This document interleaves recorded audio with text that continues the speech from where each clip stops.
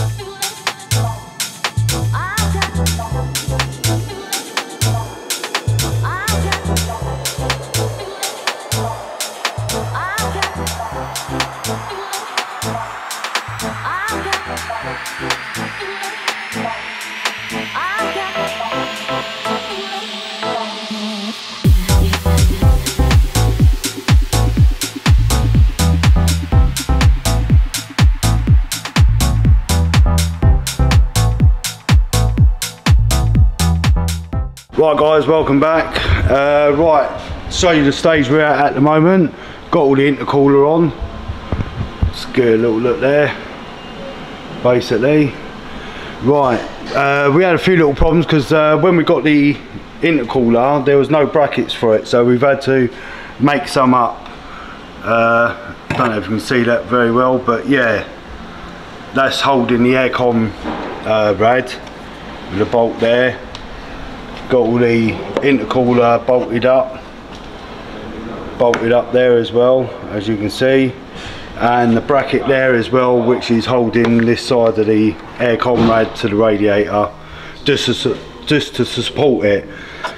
Uh, I don't believe in cable ties, so yeah, I've done a little conversion there with a little bracket and uh, made it work. So right, next point is get the hose from the intercooler up to this pipe here, and then underneath,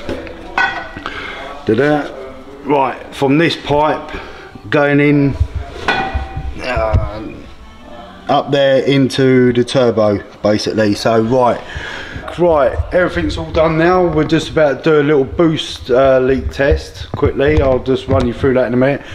But first of all uh, just quickly show you on Grant's car. Now we've got the rear anti-roll bar on there now. Um, so yeah he's gonna uh, give that a, little run through and uh, let us know how that is. So yeah basically what we're to do is I'm to pass the camera over to Grant in a minute. He's to be my new cameraman for the minute. And I'm to run you through basically here you go Grant hey right so basically what we're going to do is do a little boost leak test on here um, just show you basically what we do is after any pipes or pipe work gets done it's always good to do a little test on it just see if you get any uh, little leaks anywhere. Uh, just put about 10 psi pressure in.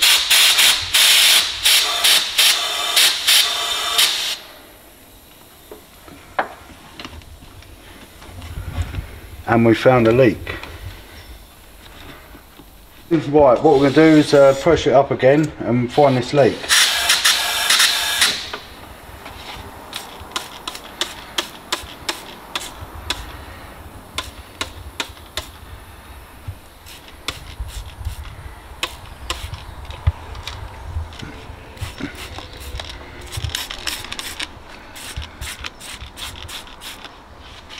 So somewhere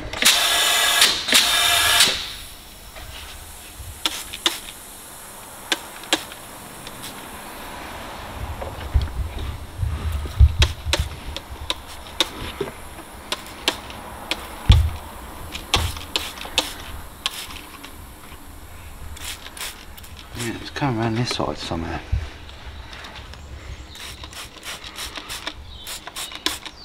We'll do all these as well. But yeah, uh,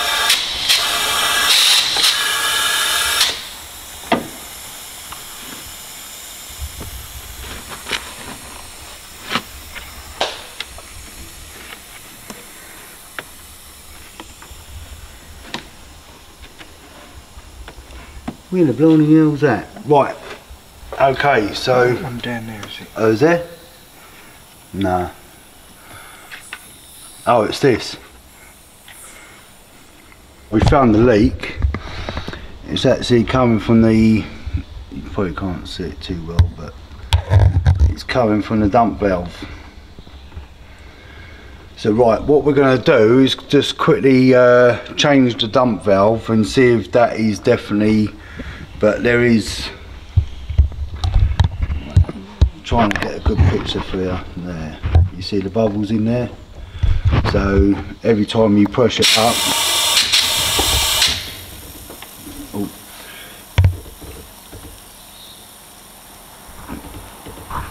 it's a bit hard to see. I'm sorry guys for the awkwardness.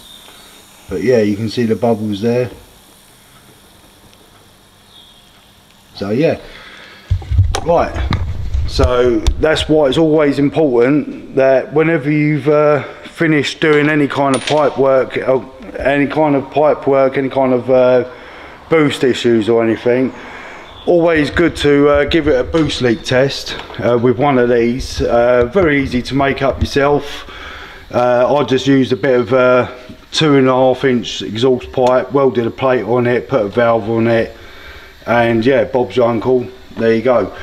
Um, yeah, they really do help out, and they find out a lot of stuff in the future when you're doing things. Uh, so yeah, if you ever change in one of these pipes or hoses or any kind of like pipes, you can uh, get on top of it. So right, we're going to quickly change that over, see if that cures it, and then uh, get back to you. Right, see you all soon. Found another leak. Uh, I'll just put those. Sorry guys, you probably won't be able to see too much at the moment, but battery's gone on the torch.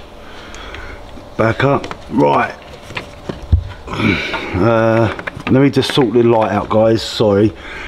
Right guys this is the uh, pipe here. As you can see uh, don't know what someone was thinking of but they put a cable tie which is actually holding the bottom of the hose off and causing it to leak as you can see um, yeah I don't know why someone's done that but yeah it's actually caused a problem and corrected it so right, we're going to finish on that, sort that one out and get back to you in a minute guys. That's it for today for Grants 1, done all the intercooler and that now. Everything's all done, boost leak test, everything's okay, no more leaks. We are deleting the dump valve out of it, um, getting rid of that, putting a bit of straight pipe in, um, get all these boosts um, back to him basically. Uh, we did find that other problem with the other pipe where someone don't know why they done it, cable tied it to the plug, uh, which was pulling the actual hose off of the um, sensor basically and causing it to leak. So that was the other leak we had as well. Um, that's another reason why I don't really like cable ties and all that lot. They're just more of a hindrance than anything. Uh, they're alright for strapping up wires and neatly tidying things, but to hold things out of the way like that, that's just absolutely pointless. Uh, can't see why someone's done that basically. But yeah, it's caused more of an issue than cured an issue, so to speak. So um, yeah, hope you all enjoyed it. Let us know in the comment sections what you think uh, about the boost leak test and all that lot. And uh, yeah, let us know your, your thoughts really guys. Um, and hope you all enjoyed it. Catch you on the next one. See you all soon.